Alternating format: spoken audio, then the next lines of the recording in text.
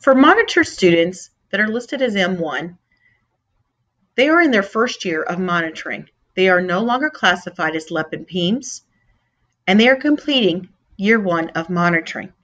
The LPAC will decide to continue with the monitoring for the student in general education or dual language program.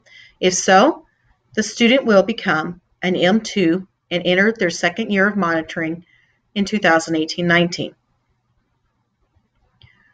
For year two students being monitored, they're classified as an M2.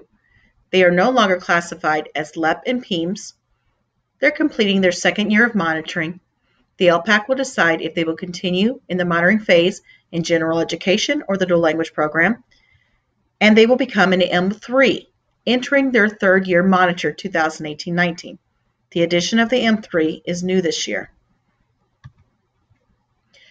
At the end of the year, the LPAC must re-evaluate M1s and M2 students who earned a failing grade in a subject in the foundational curriculum during any grading period to determine whether the student should be re-enrolled in a bilingual education or ESL program.